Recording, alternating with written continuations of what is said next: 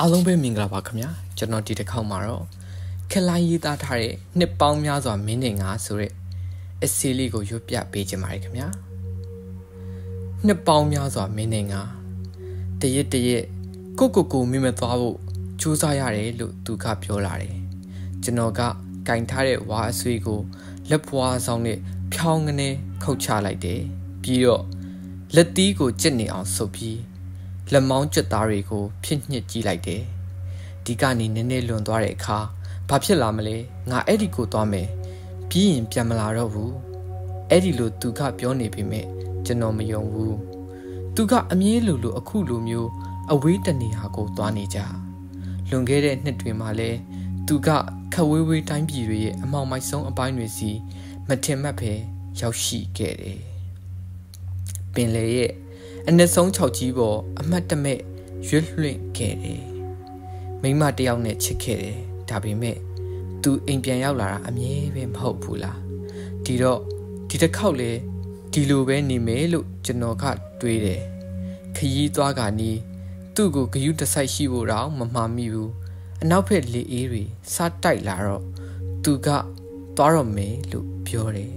ပြီးတော့ကန်းကြီးအဲ့ဒီကနေ အဲ့ဒီသူပြောတဲ့တနေရာကိုသွားပါရောသူထွက်သွားတော့မှနားလေလာတာကအရာရာဟာငြိမ်သက်တိတ်ဆိတ်စွာကြံရက်တယ်ဆိုတဲ့အဖြစ်ကိုပါပဲကျွန်တော်ဟာသူ့ကြောပြင်တစ်ခုလုံး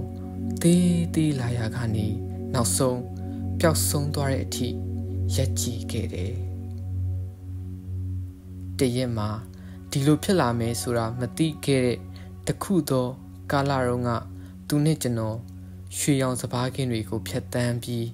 တောင်တန်းတွေဘက်ကိုရောက်ခဲ့တယ်။အဲ့ဒီဒေသမှာငှက်တွေဟာရွှေနဲ့အစိမ်း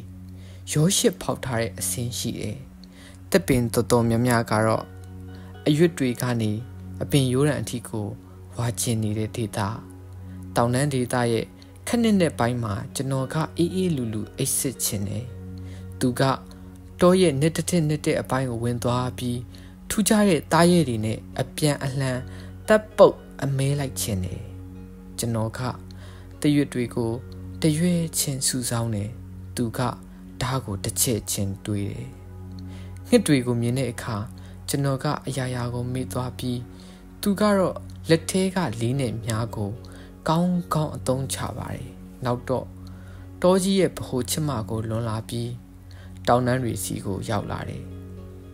တောင်တန်းတွေက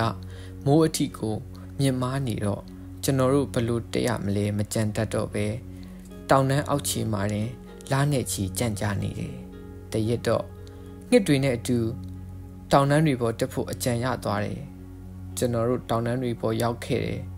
အဲ့ဒီမှာထူးခြားငြိမ်သက်နေတဲ့တပ်ပင်တွေနဲ့အောက်ခြေတစ်ခုလုံးရေမော်ရီရပတ်နေတဲ့တပ်ပင်တွေနဲ့သူကပြောတယ်ကဘာကိုစတင်ဖန်ဆင်းတော့ ဒီတောင်တန်းတွေဟာပင်လယ်အောက်မှာအဲ့ဒီလိုပြောတယ်သူကဆက်ပြောတယ်ဖျားသခင်ဆိုတာတော့အတိတ်ပဲမရှိပေမဲ့ဒီရီမော်ရီကအတိတ်ပဲရှိတယ်ကျွန်တော်တို့တောင်တန်းတွေပေါ်မှာနှစ်နဲ့ချီနေထိုင်ခဲ့တယ်ဒီခရီးကနေပြန်ရောက်လာပြီးမှတော့သူ့ကိုယ်ထဲမှာရှိတဲ့ဓာတ်အစုအပေါင်းဟာနေမြေးဒေတာနဲ့မလုံလောက်နိုင်တော့အောင်ဖြစ်လာတယ် သူဟာတရက်တစ်တရက်ပင်လယ်ရေအောက်မိုင်တောင်းချီရောက်ရှိတဲ့အထိသွားခြင်းနဲ့အမြင့်ပေထောင်တောင်းချီတဲ့တောင်တန်းတွေရဲ့ထိပ်အငူမှာရက်ခြင်းနဲ့တောရဲ့အနည်းဆုံးအပိုင်းမှာနေခြင်းနဲ့ဒါပေမဲ့ကျွန်တော်ကကိုယ်ဝကျင်လေးတဲ့အေးအေးနေရတာကိုပိုသဘောကျတယ်လောကမှာအရာရာပြီးသွားရင်တော့ဒီနေရာလေးတော့မပြီးသေးပဲကွင်းကြံရမယ်လို့ထင်တယ်ယုံတယ် သူကတော့တရက်တရက်ခီးအတွက်ပြင်ဆင်တယ်နောက်ဆုံးမတော့သူ့ရဲ့ပထမဆုံးခီးကိုကျွန်တော်မပါပဲထွက်ခွာပါတယ်ကျွန်တော်ဟာနှစ်ပေါင်းတရာတီတီကိုတိတ်ဆိတ်စွာဖြတ်တန်းရပါတယ်လက်မောင်းကျွတ်သားတွေလေ့ကျင့်တာကိုရပ်လိုက်ပြီးမျက်လုံးတွေကိုတင်းတင်းမှိတ်ထားလိုက်ပြီးတိတ်ကိုအေးစစ်ကြမ်းရမ်းတဲ့မြောက်လေတွေတိုက်လာတဲ့အခါ ကိုကိုကွေးပြီးအိတ်တက်ခဲ့ပြီးနောက်တော့မိဖို့တစ်ခုပေးမှထိုင်လျက်ကမိုင်ပေါင်းတောင်းချီကိုမြင်အောင်ကြည့်တတ်ခဲ့ပထမနှစ်ပိုင်းများမှာကျွန်တော်ဟာသူ့ကိုမျောလင့်တကြီးမျောခဲ့ပြီးနောက်ပိုင်းနှစ်တွေရောက်လာတော့မျောလင့်ချက်အဆိုင်အခဲဟာတဖြည်းဖြည်းကြည်မွပျောက်ပြစ်သွားတော့တယ်သူဟာအခုအချိန်ပင်လရဲ့အနှစ်ဆုံးအပိုင်းမှာတောင်တန်းတစ်ခုရဲ့အငူမှာတောတစ်ခုရဲ့ဗဟိုမှာအဲ့ဒါလိုတွေ့တတ်ခဲ့ နောက်တော့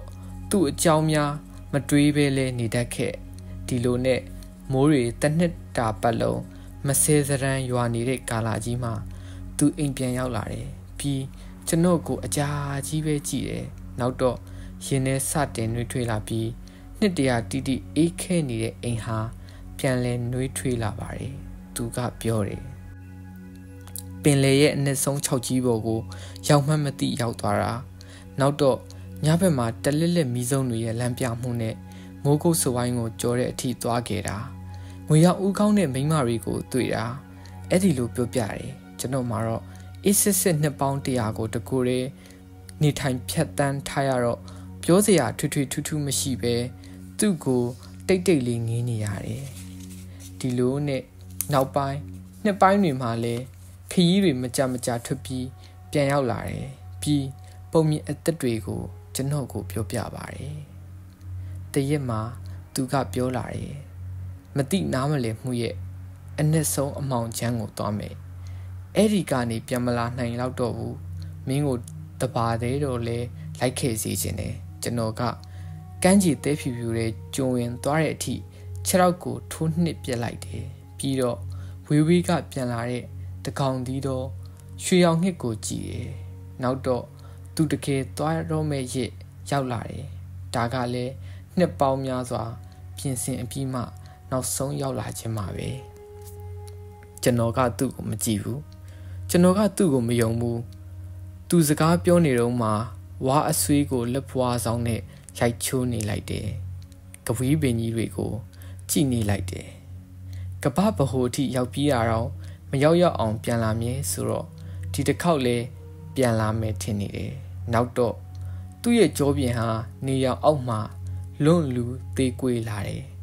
တဲတောင်ပေါ်ကနေရောင်ဟာပူပူပူလောင်ထိုးနှစ်လာတယ်နောက်ဆုံးသူဟာအဆက်ပြောက်ကလေးကနေဝေဝါးပျောက်ဆုံးသွားတယ်ကျွန်တော်ဟာတယောက်တည်းကောင်းငင်ဘောကငှက်များဟာအနီရွှေရောင်အစိမ်းလောကမှာနောင်နှစ်ပေါင်းများစွာကျွန်တော်ဟာ